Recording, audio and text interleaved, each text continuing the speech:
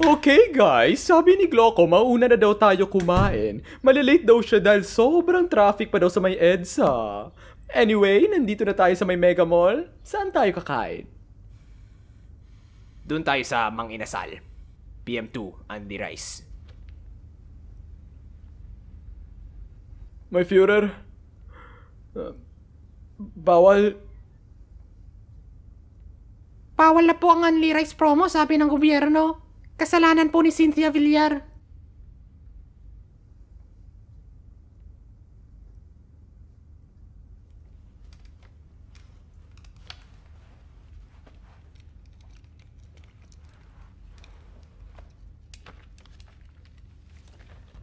May iwan kayo. Keitel, Jurgel, Krebs, at Burgdorf.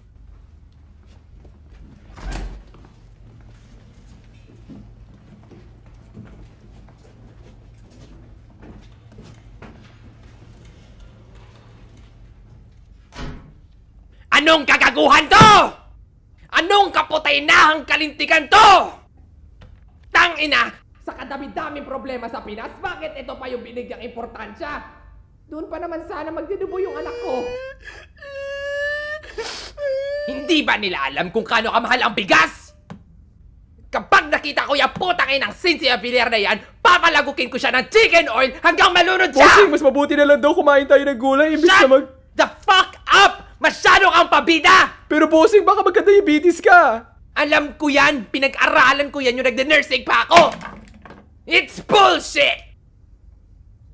Nagpapacheck up ako sa doktor ko every month at sabi niya sa akin na sa normal pa rin ang blood sugar levels ko kaya wag mo ako pagsabihan sa diabetes! Malabo rin naman magka-diabetes type 2 ako dahil hindi ko naman inaaraw-araw ang pag-aanliray sa mga inasal. Puta Brad, di ako ganun kayaman! Tangina! Ang bobo nila! Gusto ko na mamatay! Tingnan natin kung di ka maumay na ubusin ang petso na lang ang iyong kanin!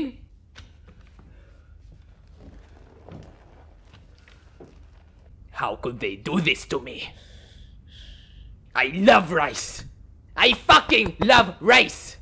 Pinagnanasaan ko ang kanin! Joke lang.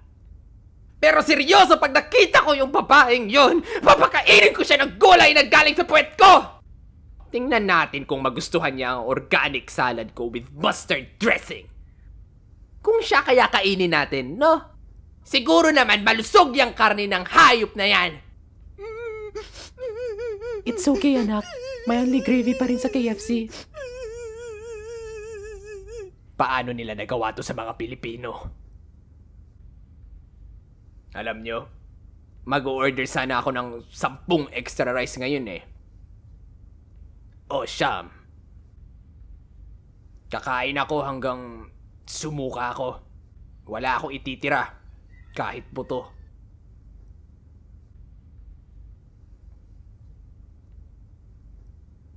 Magsaing na kayo ng kanin. Magdadala tayo ng kaldero doon at walang pipikil sa atin. Pero lasang medyas pa rin yung sabaw nila.